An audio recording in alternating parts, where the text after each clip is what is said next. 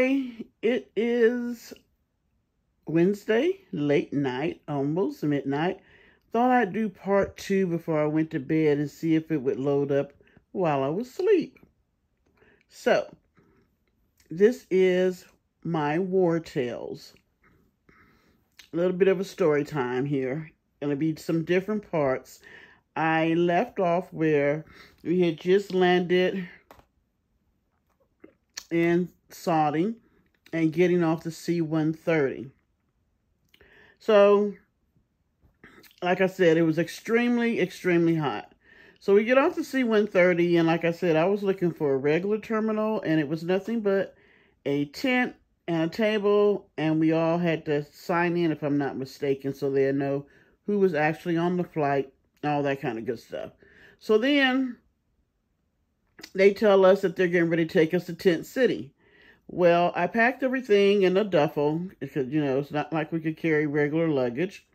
So I'm an overpacker.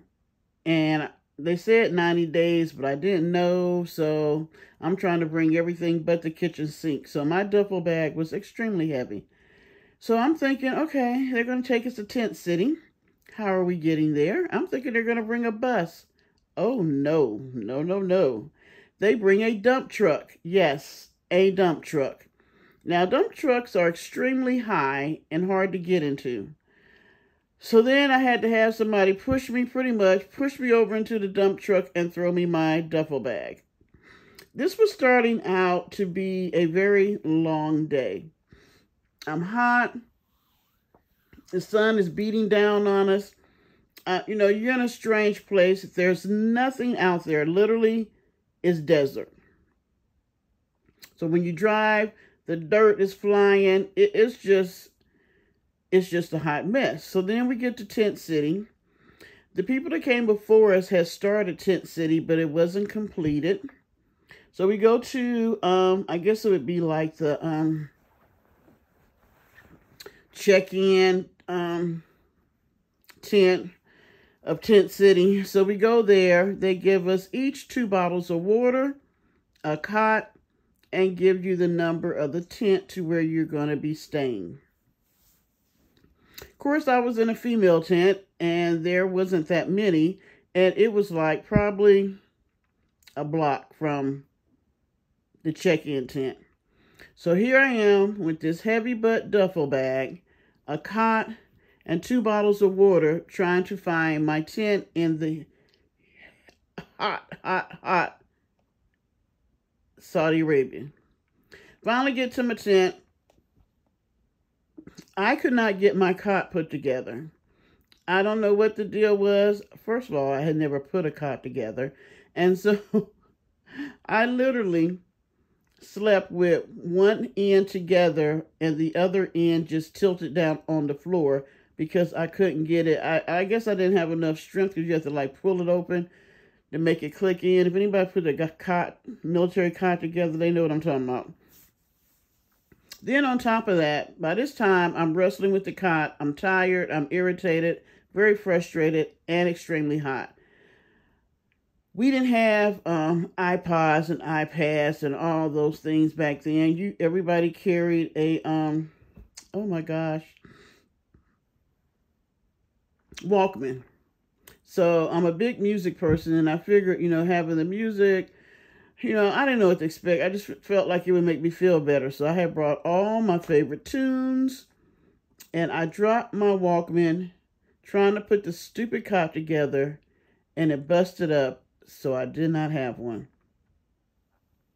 I was so through with that day, and I think if I'm not mistaken, our AC was not working yet in the tent. I just laid in that half put together cot and I literally cried myself to sleep because I was trying to figure out what in the hell did I get myself into? This is not the military that I had signed up for. Hate to say it, but when I signed up, I never really thought that I would have to go to war.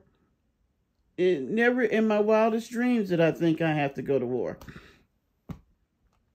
So the next day, um, I think that night was only about maybe five of us in the tent. And it was a tent that held 12 people.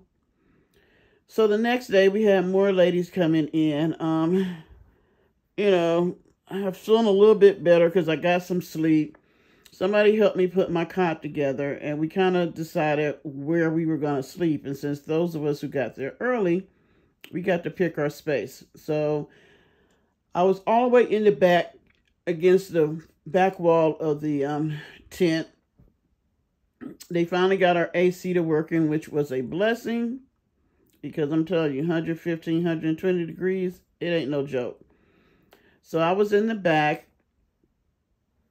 Um, at that time, we did not have um, Johns. We had a bathroom tent that was co-ed. So you maybe use the bathroom next to a guy. You know, some things when you when you're in the military, after a point in certain situations, you don't even care. If you got to go to the bathroom, I don't care if there's a guy using the the toilet next to me. They did finally bring in Porty Johns, which, hmm, I'm to have to have that as a separate story, the whole Porty John thing. We did have a chow tent, and um, the food wasn't bad, I have to say. We had a chow tent, and actually where we were at, we had, um, right behind us was a section of Army. I felt so bad for them because they had like the pup tents. I don't know if people know what that is. It's like the old-fashioned tents that you just put up, the small ones. We had big old tents. Like I said, we had air conditioning and all that. So um, when they came from Kuwait, they would come there and rest up and then go back. So they ate at our chow hall with us and all that. The first week, it was pretty much trying to get things prepared. So um, my job was actually on the makeshift flight line. And um, so we went there, and the first week, what we did was filled a whole lot of sandbags and made a whole lot of bunkers because every tent in Tent City had to have its own bunker. And then where I worked at, we had to have our own bunker. So I am an expert at filling sandbags and making a bunker. So that's what we pretty much did. I worked 12 hours, 12 hours on, 12 hours off. I worked the 12 midnight to 12 noon. Me and, well, in the beginning, which was, it was horrible. We had not gotten our, um, it was like a mini trailer because of the type of equipment we had. We had to have, um, you know, AC in there. We had to have a cool. So we had not gotten our mini trailer. It was like one side was us, the other side was the parachute shop. So we were in the tent with um, the people that did refueling, uh, maintenance type people. So, like I told you, my career field, there wasn't a whole lot of women. And then when we had to go to this conflict, a lot of the um, departments did not send females. They tried to send the men that worked and left the females at the base. Unfortunately for me, I was not in one of those departments. So the first, I want to say first month, might have been the first month, I worked out of a tent with 65 guys. This is no lie. I was the only female in the tent. It was horrible because they didn't talk about anything I was interested in. They talked about sports, they talked about females. They talked about sports. They talked about females. All extremely, extremely boring. So, while I was working with them, I, being the only female, I used to have really, really, and if guys are listening to this story, they probably could care less, but I used to have really extremely bad cramps. And when I was stressed, they would get even worse. And at that time, I wasn't as fluffy as I am now. I probably weighed maybe 120 pounds, maybe. So, man, when I got my first period when I was over there, them cramps was knocking me back and forth. It was horrible. So because they were so bad, I was literally crying. Um, they had one of the guys take me to the makeshift medic tent, and there really wasn't a whole lot they could do for me, so they gave me some pain pills. Now, I wanted to go back to my tent because I knew the pain pills were going to make me sleepy. But my sergeant was like, no, I couldn't go. I had to go back to the tent to work. Now, we have four people, so two people worked each shift. I worked with the laziest man in the world. All he did was talk. You ever meet a guy that talks a whole lot? He was loud, he was crass, he just talked all the time. His name was Lou. Last name was Lewis and he was from Louisiana, and he had about seven or eight kids, something like that. But oh, he was, I mean, he, I don't know, he, he just had no class, no, no class about him whatsoever. So instead of letting me go back to the tent and sleep it off, no, they gave me the medication and sent me back. So when we worked our 12 hour shifts, we were not supposed to sleep. Even though we were not doing anything at the time, we were not supposed to sleep. So here I come back and I took the pain pills and they are making me so sleepy. So I was sitting at the machine that we used to analyze the oil sample, trying not to doze off. And I was just doing a nod. But somebody told my sergeant that I was sleeping. And I wasn't. Do you know that this guy tried to give me an Article 15, which is a disciplinary disciplinary action, which in non-wartime is bad enough because you can lose rank, you can lose money. Um, there's a lot of things that can happen under Article 15, but during wartime, it's like treason. Treason. I could literally go get put in prison, military prison, for having an Article 15 during uh, wartime.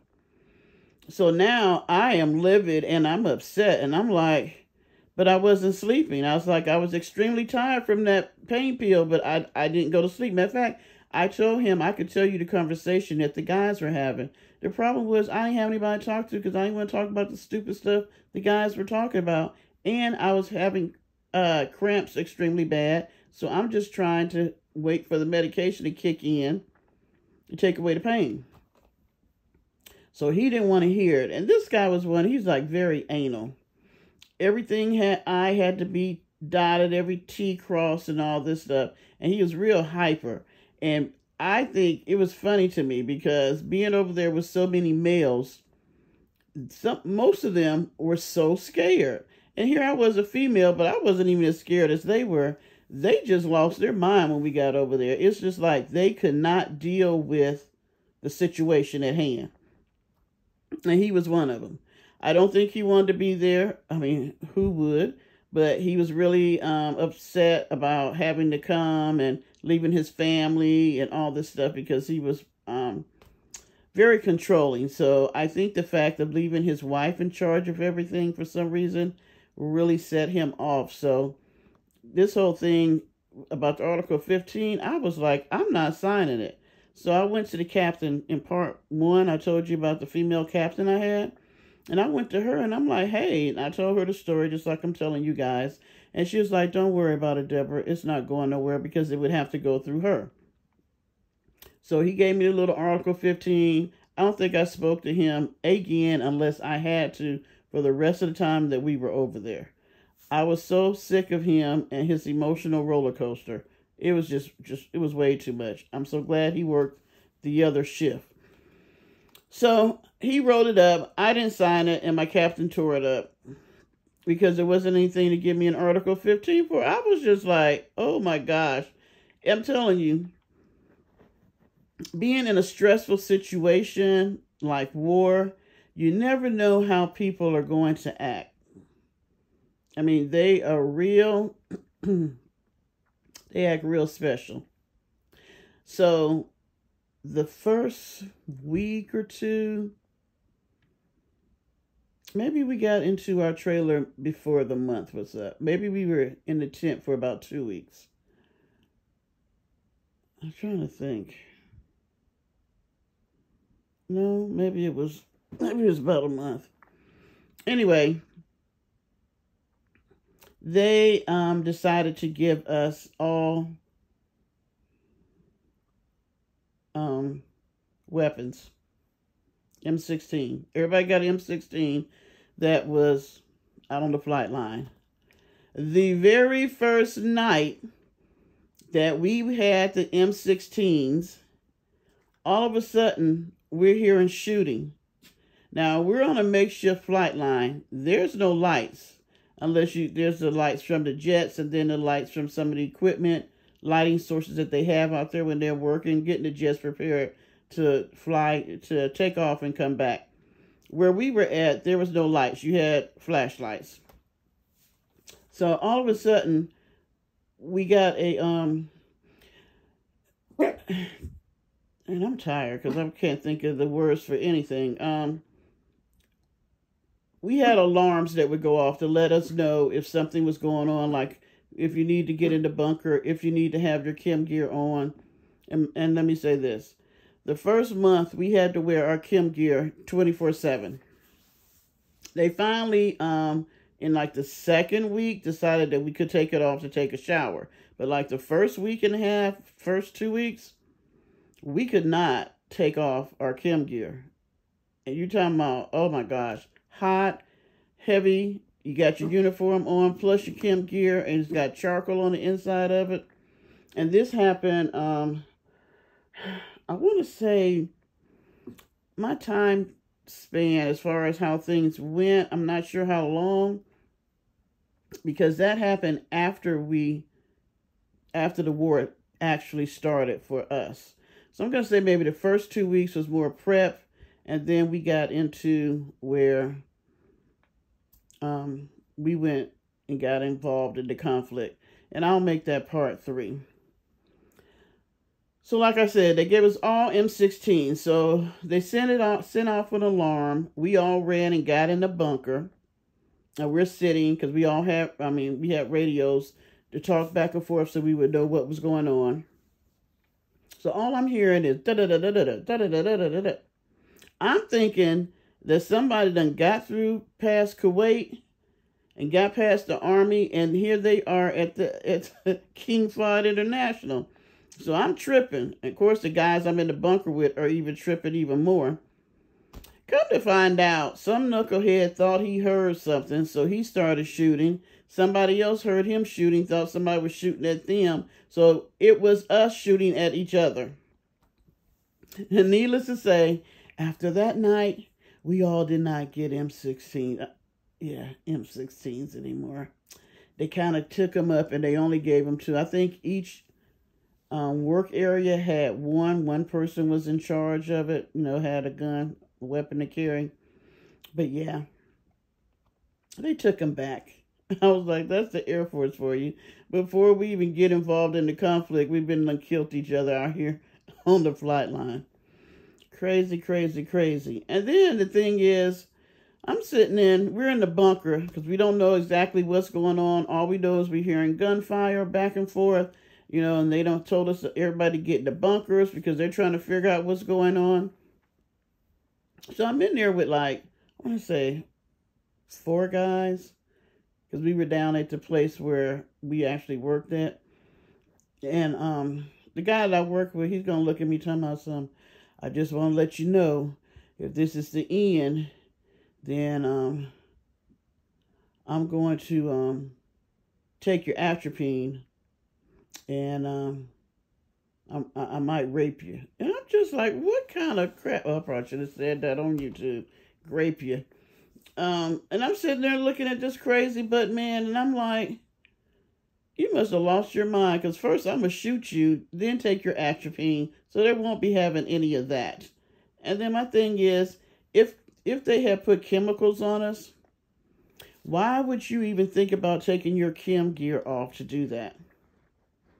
uh, some of the things that I, I'm gonna tell you, some of the things I heard during wartime was uh, it was just beyond.